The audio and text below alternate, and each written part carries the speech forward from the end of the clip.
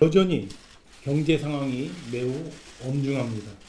그리고 특히 국민들이 체감하는 어, 민생 경제는 더더군다나 더 어려운 상황입니다.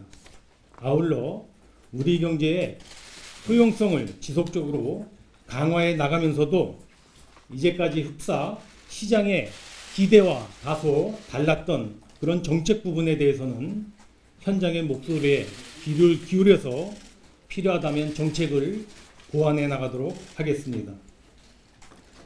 앞으로 경제활력 대책회의를 통해서 주력 산업이라든가 서비스 산업, 신산업, 창업, 그리고 수도권이든 지방이든 곳곳에서 경제 활력이 활발하게 일어날 수 있도록 정부가 적극적으로 지원하고 특히 현장 중심으로 정책을 펴나가도록 하겠습니다. 저부터 민간과 그리고 시장과 소통을 갖다가 최우선적으로 두겠습니다. 우리 이기 경제팀 장관님들께서 과거 그 어느 시기보다도 어, 현장에서 문제를 해결하는 그런 경제팀 한 팀이 되어 주시기를 어, 희망합니다. 마지막으로 이기 경제팀이 앞으로 공식적인 회의든 비공식적인 회의든 수시로 만나서 머리를 맞대고 토의하는 시간을 많이 갖도록 하겠습니다. 해서 어, 우리 경, 경제부처 장관님들께서 한 팀이다 하는 그런 의식을 갖고 어, 팀워크를 이뤄나갈 수 있도록 제가 앞장서서 어, 어려운 일들 어, 솔선해서 어, 하도록 그렇게 하겠습니다. 오늘 회의에 상정된 안건이 총 4건입니다. 2019년도 경제정책 방향안 그리고 중소기업 스마트 제조혁신 추진 방안 그다음 어, 자동 어, 하나가 지금 더 있는데요. 스마트 산단 프로젝트 방안 그리고 자동차 부품 산업 활력 제고 방안이 예, 상정되어 있습니다. 서면 보관권으로 지역 밀착형 생활 SOC 투자 보완 방안도 어, 함께 올라와 있다는 말씀을 드립니다.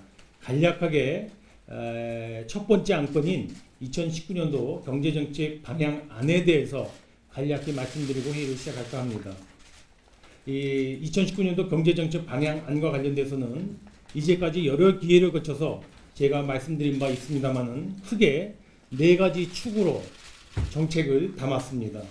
먼저 전방위적인 경제 활력 제고를 위해서 민간 공공 부분을 가리지 않고 계획된 투자들이 조속하게 투자가 실행되고 집행될 수 있도록 여러 가지 제도 개선, 투자 애로 해소를 위해서 노력하겠습니다. 그리고 470조 원에 이르는 내년 예산도 역대 최고 수준으로 조기에 집행되도록 하는 방안이 담겨 있다는 말씀을 드립니다.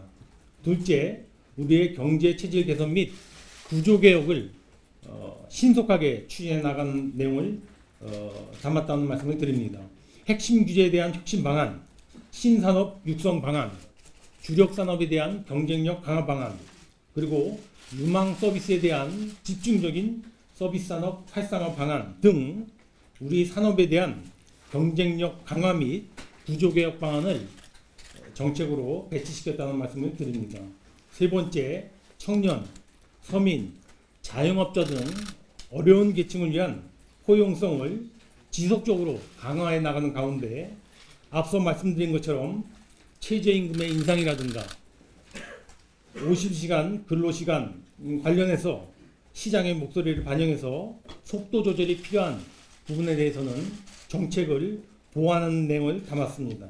마지막으로 4차 산업혁명, 저출산 고령화 대책, 본격적인 남북 경협에 대비한 방안 등이 미래 도전 요인에 대한 대응 차원에서 어, 선제적인 투자, 사전 준비 등의 내용을 중심으로 해서 정책을 강구했다는 말씀을 드립니다. 오늘 이 회의를 통해서 우리 경제장관님들께서 좋은 의견과 아이디어를 주시면 그 내용을 담아서 수정 보완해서 다음 주에 최종 발표해서 어, 브리핑 해드리도록 하겠습니다. 나머지 세 개 안건의 경우 아까 말씀드린 것처럼 중소기업 스마트 제조 혁신 그리고 스마트 산단 프로젝트 이 두 건은 산업부와 중기부에서 준비를 해 주셨습니다. 주로 어, 제조업 위기를 극복하고 중소기업 일자리 창출을 통해서 지역 경제를 살릴 수 있도록 제조업 전반에 대한 스마트 혁신을 추진하는 내용이 이 방안에 담겨 있습니다. 두 번째 안건으로 산업부에서 마련해준 자동차 부품 산업 활력 제고 방안은 글로벌 시장 침체하에서 경영난 악화 및 미래차 전환과 같은 트렌드 변화에 대응하기 위한 자동차 부품 산업에 대한 금융, R&D 등 지원 방안이 주요한 내용으로 담겨 있습니다. 이외에 지역 밀착형 생활 SOC 투자 보완 방안은 앞으로 전 지자체에서 중점적으로 추진하게 될 생활 SOC 사업에 대한 추진 계획이 담겨 있고 지역 경제 활력을 제고하겠다는 각종 대책이 포함되어 있다는 말씀을 드립니다. 어, 이와 같은 대책을 통해서 경제 활력 제고 효과가 극대화될 수 있도록 우리 장관님들께서 여러 가지 좋은 의견을 개진해 주실 것을 부탁을 드립니다.